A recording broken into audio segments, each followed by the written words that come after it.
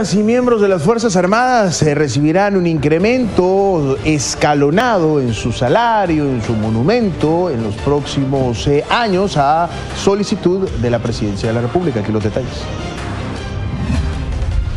Yo creo que es eh, donde más se manifiesta y se expresa la voluntad de servicio cuando alguien arriesga su vida por el bienestar de los ciudadanos. Hay que apoyar. Primero hay que ver lo que venga en el presupuesto, a ver si es cierto y qué, y qué, eh, qué sentido tendrá, mejor dicho, qué, qué magnitud tendrá. No vaya a ser como aquellos aumentos que ponía la NEP del 4%, que equivalían como a 5 dólares anuales. De decir que va a dignificar lo que es el trabajo de las personas que nos eh, guardan la seguridad a nosotros. Son los que arriesgan su vida y son los que deben de tener mejores condiciones.